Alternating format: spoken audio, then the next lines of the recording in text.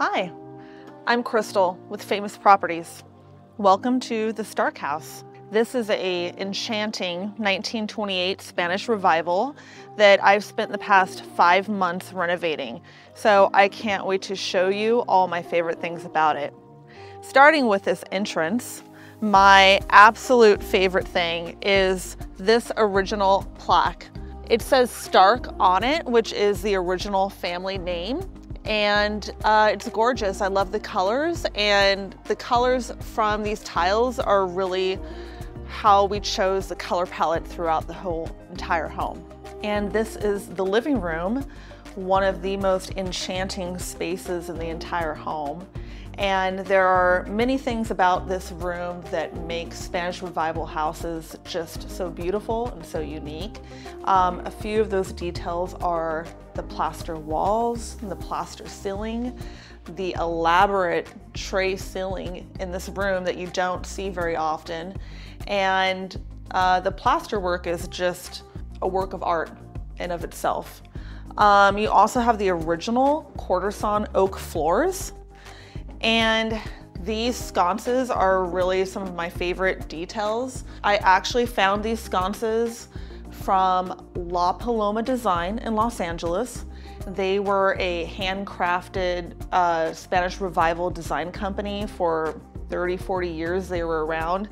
And they went out of business. They had a huge warehouse sale. And I was lucky enough to score these incredible sconces. And all the sconces that you see throughout the house are from La Paloma Design. Um, the fireplace, of course, is the focal point of the room. It has that old world charm that you would want a Spanish revival fireplace to have. Um, I have this gorgeous painting on here. It's one of my favorite pieces.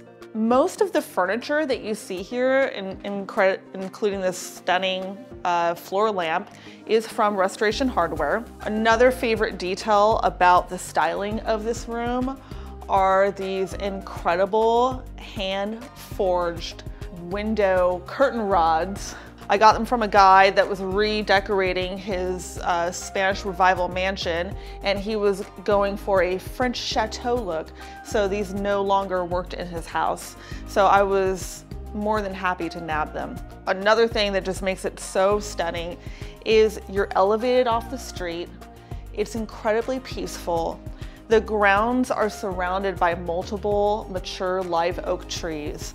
And so looking out every window here, you have the beauty of the oak trees and it feels private, it feels serene, and it, it feels like you're really someplace other than Riverside. Another great feature about this room is this French door that opens out to the deck and it just gives you a little bit of taste of that natural outdoor beautiful feeling with the live oak trees. And the view out here is just stunning. It goes all the way out to beyond the river bottom and the valley. And the dining room is another gorgeous room. Uh, the main feature here is this solid brass restoration hardware chandelier. The floors are still the original quarter sawn oak. And it's so nice that the dining room is open to the kitchen, a feature that not many historic homes have. Uh, back, you know, turn of the century, 1920s, all the rooms are very compartmentalized. And this just has such a nice flow going from cooking and entertaining to dining. And of course, the outdoor space again. I mean, this home really is about the outdoors and the indoors just kind of merging together. So you have all this gorgeous outdoor space. It's also like your living space. And so the French doors open up to the patio. And the French doors are such a great feature because you have this indoor, outdoor flow going on, which is just perfect for entertaining. And we'll see more of the backyard and patio space later on. So the laundry room actually used to be a really huge laundry room, uh, but it wasn't very functional. So we basically cut that space in half and we were able to create a powder room on the opposite side, which we're gonna look at. Um, and then we added some shelving in here, a marble Carrara top. So it is now a very functional space and it gave you a, another bathroom. So this is the additional bathroom that we were able to create from taking that space from the laundry room. Um, it's a gorgeous space, even though it is small. It's a, a, sink and a toilet, so it's a half bath. The floors are done in travertine. The vanity is restoration hardware. And the mirror is a really beautiful, unique piece that I've had for a long time. I actually got it from another house that I sold and it is antique, it's Art Nouveau, it's gorgeous. I hate to actually be losing it by selling this house, um, but it looks so perfect in the space that it just, it has to stay there. This is the room that really took up the most amount of time and thought and money because I wanted to have like this wow bathroom, the kind of bathroom that I've always dreamed of having. A couple things about this bathroom that I love is this giant soaking tub. Um, the floors, the walls, I don't know which thing I love the most, but I'll just tell you one by one how it all came together. So the floors are also travertine and they came from the Riverside Restore. I don't know if you've ever been to the Restore, but it's ran by Habitat for Humanity and it's where contractors and companies donate their leftover stuff and then the restore sells it for profit. So they had a couple giant cases of this stone and I think I bought a giant pallet of this for $200. So I didn't even know the shape of it. I was like, I don't know what I'm gonna do with this, but I have this gorgeous herringbone pattern that came out of it and I, I love the way it turned out. Um, the walls are Venetian plaster. Um, they were done by Bennett and Sons in Pasadena. If you need plaster work, Bennett and Sons are amazing. And they really understood the feeling that I want to create in here. And the Venetian plaster just kind of gives this old world feeling. It makes you feel like you're in a spa somewhere in Spain. And uh, it really transformed the whole space. I'm obsessed with having a niche in any bathroom. And so I have some mirrors and things that I've collected um, over the years that kind of give you that Moroccan feeling. And I think having a niche in a bathroom, it, it kind of just, it creates, not only is it practical, I mean, you can put your shampoo and your soap there, but you can display little things that you have and it really gives just a regular plain old bathroom that little oomph of uniqueness and luxury.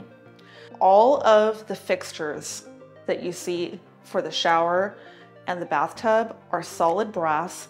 They're unlacquered, which means that you get that beautiful patina on them over time. And I had them imported from Morocco.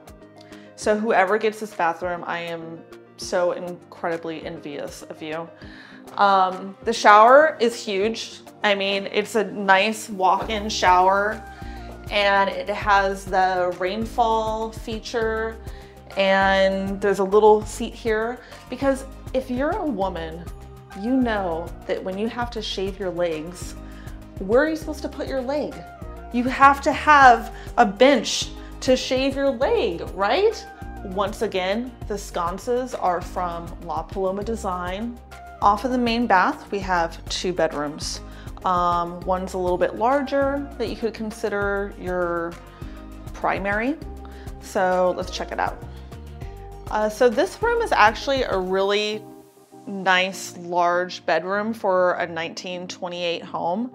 Um, it also has the original quarter sawn oak floors and it has um, these beautiful casement windows, which by the way, my husband, Fred, spent mm, maybe 60 days straight restoring these windows. Um, it was really a labor of love because you can't have a historic house like this and not have original windows. It took me a very, very long time to choose a paint color for these windows, I wanted to have a nice calming sage, but it is really difficult finding the right color green. Um, so this green that you see that echoes throughout the home on all of the trim work is called Fresh Thyme by Dunn Edwards.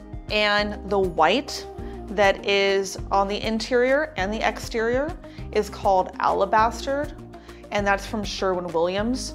It's a gorgeous warm white that I use all of the time and you wouldn't believe what a difference the right white makes. So if you're looking to paint your home white, pick alabaster. Here in the second bedroom, it's really just mimicking the same peaceful, calming vibe of the larger bedroom. Uh, we have the refinished solid oak floors, um, the unique sconces from La Paloma, and the beautiful functional casement windows. And just a really nice room that you can have a guest in or if it's you have children uh, it's, it's a very comfortable space. So this is a really great space for outdoor entertaining al fresco dining. You have this gorgeous pergola with all of the shade and beauty of the live oak trees. And as beautiful as the space is, I cannot wait to show you the rest because it actually gets better. This is the patio. This is a beautiful setting because looking in front of me, I have this gorgeous view of the sunset and the mountains and the river bottom. And then behind me, you have the glory of Mount Rubidoux just the boulders and natural setting. I mean, everywhere you turn, 360 degrees on this patio is just a beautiful, enchanting space to be in. Uh, whether you're sitting here at the fire pit or you're enjoying the sound of the waterfall or you are even up higher with the second level fireplace, um, it is just a gorgeous place to be. And one of the things that makes this outdoor setting here so, so, special is all of the incredible rock work that you see leading up to the house, behind the house. All of these granite stones were quarried locally here in Riverside. Um, it was actually at a quarry near Mount Rubidoux called North Hill. It just creates this feeling of like being someplace really old with a lot of history. And it also echoes the feeling that you get from being right here on Mount Rubidoux. Another unique thing about this property is that you have this main level detached uh, one bedroom studio apartment. Uh, there's a little kitchenette in here, there's a full bathroom, but it's really a great space for a guest, uh, for your home office if you want some separation, or if you want to have a little Airbnb rental, this is the perfect spot. Let's check it out. So here in the studio, we have this charming little sitting area, and this space actually was originally a closet. Um, but it was a pretty big closet for such a small room. So we opened up the closet and we put this beautiful wallpaper and I found this painting from an estate sale that just looks so insanely good with this wallpaper. I can't believe it. And I may even be willing to leave the painting behind for the right buyer. Um, but the room is really comfortable. Uh, we also refinished the hardwood floors. These are original Douglas fir floors. And the space is just, it's really charming. It's a really great space for a guest. Uh, there's a little kitchenette with a microwave and a mini fridge. Um, we also put in a mini split system that does incredible heating and cooling. So this room is really comfortable year round. And there's a large walk-in shower and you know pretty much everything somebody would need to just have a comfortable stay here. Thanks for taking this tour with me of the beautiful Starke House. If you have any questions about this home or any other real estate related needs, or maybe you'd like a consultation about your own historic home, feel free to call me anytime. I'm Crystal with Famous Properties.